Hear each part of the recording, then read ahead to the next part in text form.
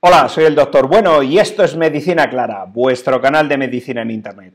El tema que vamos a tratar hoy es una noticia que ha aparecido en diferentes medios de comunicación sobre la alerta sanitaria que ha aparecido en China nuevamente sobre un brote de neumonía que ya ha llegado a afectar a más de 3.500 niños en provincias del norte de China. Y claro, ojo porque esto ha levantado las alarmas porque ya en el 2019, cuando empezaron a aparecer estas neumonías atípicas, se volvió a consultar con las autoridades chinas diciendo que, bueno, pues que eran brotes de neumonía eh, esporádicos y al final terminamos con la pandemia del COVID-19. Pues ahora eh, la agencia PROMED, que es una agencia internacional de vigilancia epidemiológica eh, eh, sin, ningún ánimo de lucro y, por supuesto, con respaldo internacional, se ha percatado de que han aparecido estos brotes de neumonía, sobre todo en niños. Y ya han aparecido muchísimas fotografías y vídeos de padres con sus hijos en las provincias del norte de China, pero incluso en localidades que están separadas hasta 600 kilómetros, con eh, estos niños que tienen neumonías.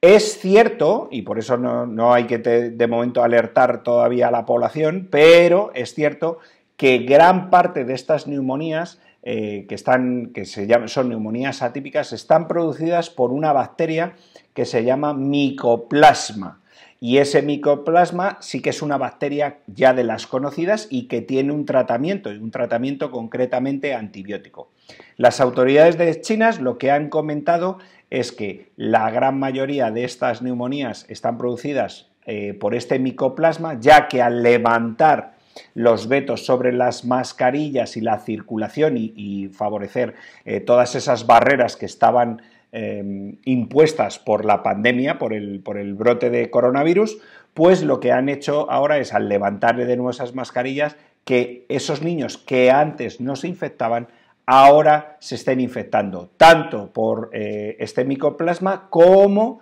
por el, conocido, el conocido virus de la gripe. ¿De acuerdo? Pero ojo, porque ya son muchísimos casos y son muchas imágenes las que están eh, corriendo por redes sociales como es eh, X o la que es la paralela de, de X en China, que es Weibo, donde se ven los hospitales ya volviendo nuevamente a saturarse por estos brotes de epidemia. Si al final se constata de que son brotes de una neumonía por micoplasma, esas sí que, eh, eh, sí que son eh, no frecuentes, pero sí que son conocidas y tienen, como hemos dicho, un tratamiento antibiótico hospitalario y posteriormente domiciliario. Y si son por gripe o por otros patógenos que afectan fundamentalmente a los niños, pues no tiene, eh, pues eh, requieren las medidas de soporte en los casos que tengan daño pulmonar en los hospitales y posteriormente en sus domicilios. Pero ojo, no vayamos a estar ante una nueva epidemia de algún patógeno no conocido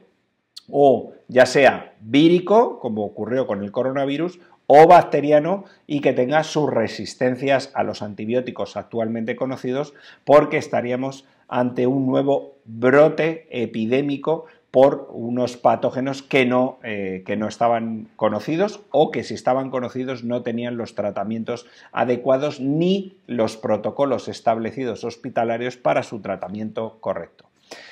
Así que vamos a tomarnos esta noticia con cabeza, hay que cogerla eh, también un poquito ahí con pinzas a ver qué está ocurriendo, pero ya Promed ha alertado y la OMS, eh, la Organización Mundial de la Salud, se ha puesto en marcha y ha solicitado a las autoridades eh, chinas toda la información al respecto a este nuevo brote de neumonía. No vaya a ser que nos vuelva a pillar el toro y pasemos las que pasamos con el brote de coronavirus a nivel mundial.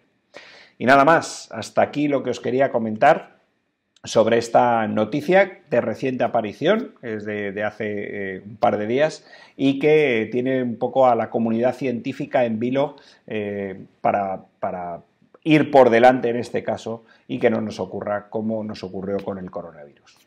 Si os ha gustado el vídeo, por favor, compartirlo en las redes sociales con familiares y con amigos. Yo soy el doctor Bueno y esto es Medicina Clara, porque una medicina comprensible es posible y necesaria. Muchas gracias.